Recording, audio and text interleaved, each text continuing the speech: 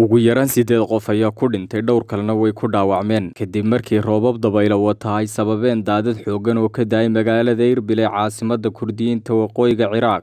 Sida ay sheegeen saraakiisha dowladda ee dalkaasi badhasaabka gobolka ayaa sheegay in jimcaha maanta haween iyo carruur ka mid ahaayeen dadka ku dhintay masiibadani.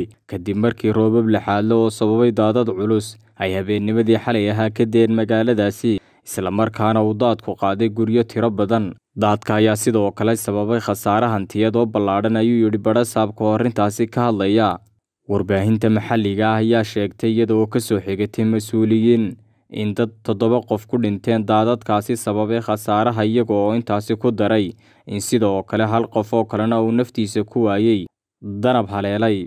Dhowr qof oo kale ayaa lagu soo warramayaa inay ku dhaawacmeen mashaqadani iyadoo weli la qiimeynayo khasaaraha ka dhashay iyo inta uu leegyahayba afhayeenka difaaca madaniga ah ayaa sheegay in dad badani lagu qasbay inay ka baxaan guryahooda.